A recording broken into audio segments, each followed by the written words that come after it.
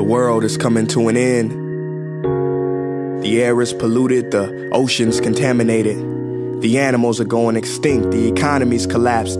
Education is shot, police are corrupt, intelligence is shunned, and ignorance rewarded.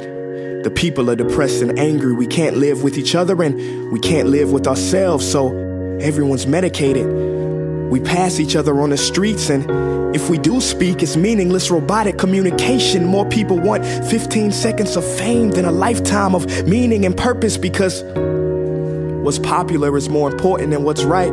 Ratings are more important than the truth. Our government builds twice as many prisons than schools. It's easier to find a Big Mac than an apple. And when you find the apple, it's been genetically processed and modified. Presidents lie, politicians trick us. Race is still an issue, and so is religion. Your God doesn't exist. My God does, and He is all loving. If you disagree with me, I'll kill you.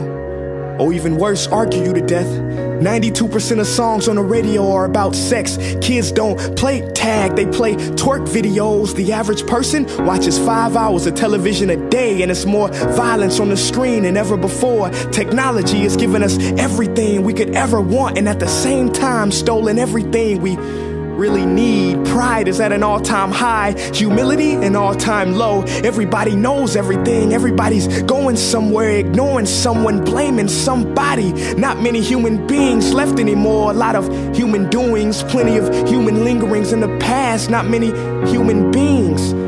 Money is still the root of all evil, yet we tell our kids don't get that degree, the jobs don't pay enough.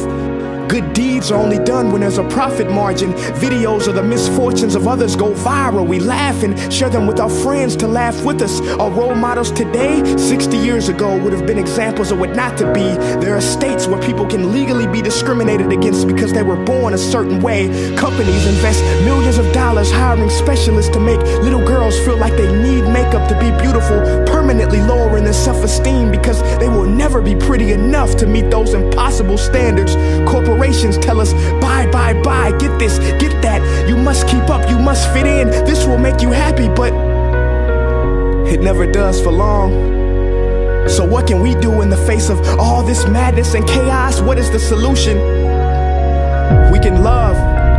Not the love you hear in your favorite song on the radio. I mean, real love, true love, boundless love. You can love, love each other from the moment we wake up to the moment we go to bed. Perform an act of kindness because that is contagious. We can be mindful during every interaction, planting seeds of goodness, showing a little more compassion than usual. We can forgive because 300 years from now, will that grudge you hold against your friend, your mother, your father have been worth it?